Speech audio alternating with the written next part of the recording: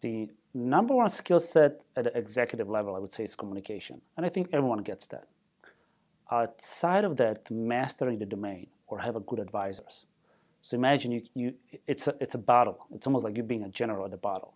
So now you rely not only on your troops, which are technical resources, but on your command center too.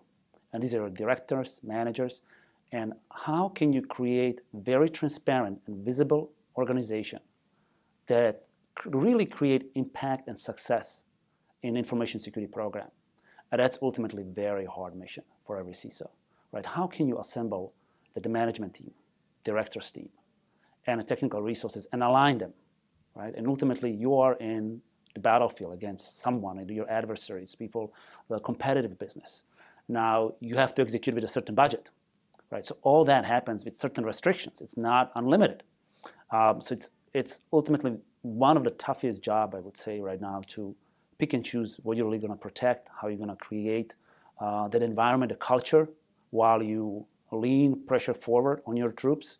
You ensuring that they have what you need, you have the right technology, you have the right partnership, and you create business successful. Because number one priority for every CISO is to protect organization that a business can flourish, not to create security out of nothing.